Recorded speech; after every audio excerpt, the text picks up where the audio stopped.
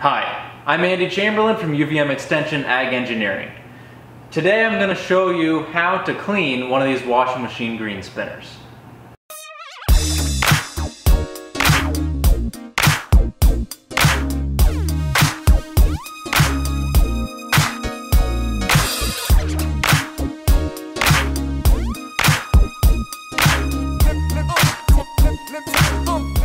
So now we're going to tackle the rest of the chassis and some of these really hard to reach areas.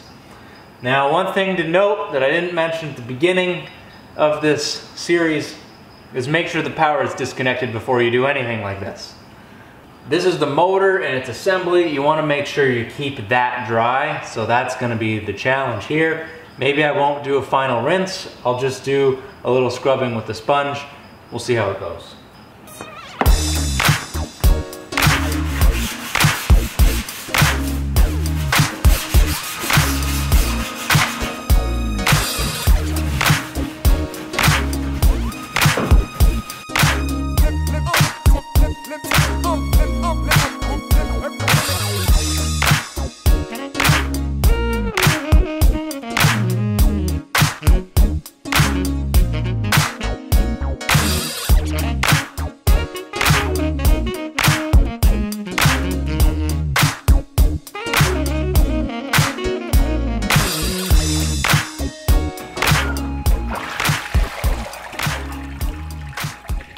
All right, it's nowhere near perfect, but I got a ton of this built up greens uh, off the bottom catch points here. So it's way better than it was. Not perfect, but I don't think it's realistic to get it perfect. So key point is do the best you can and get, get the heavy buildup of debris out of there. That's really important. Make sure this is remains dry. You could even like wrap a bag around it while you're washing to, as an extra precaution and I'm not gonna turn this on until it is completely dry out all the way around it.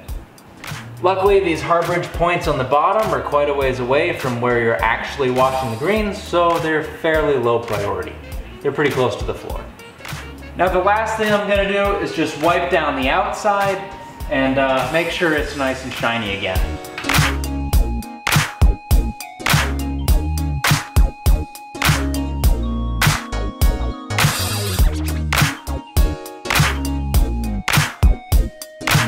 I hope this demonstration of cleaning it both simply and in depth was helpful for you and builds confidence on your cleaning procedure. And there you have it. Now you know how you can clean one of these a little bit better.